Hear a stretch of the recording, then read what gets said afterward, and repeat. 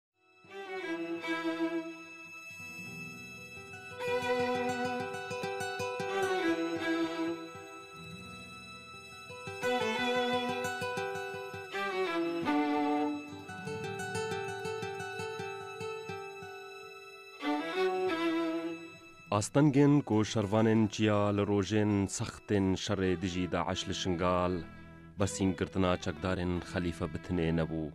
Kebitan ku top û zirîpoşa rojane hêrîş dibirne ser şervana.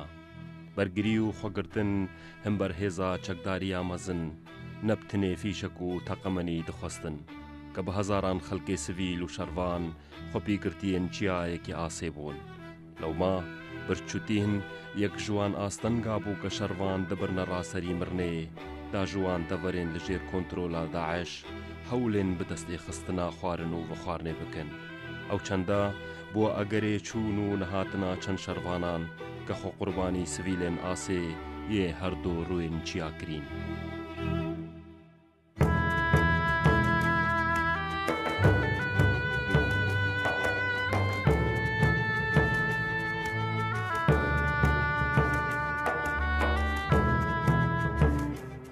Şabaz Xelaf Reşkanî ji dayik bûye yekî heft hezar û neh sed û heştî û nehê gundê Guhbel.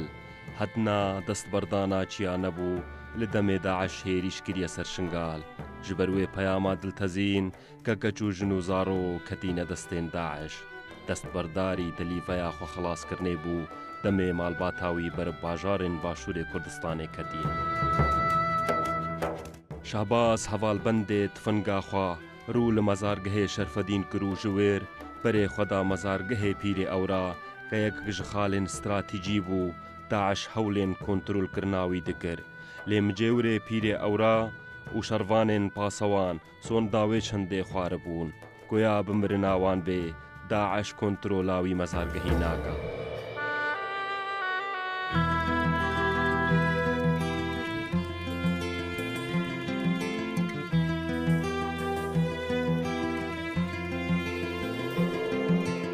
Ke ji gundê Zêrwa bi dehan hêrîşên DAIŞ kênandin û qelganên parastina mezargehê Pîrê Ewra, li wî gundî dirist kirin.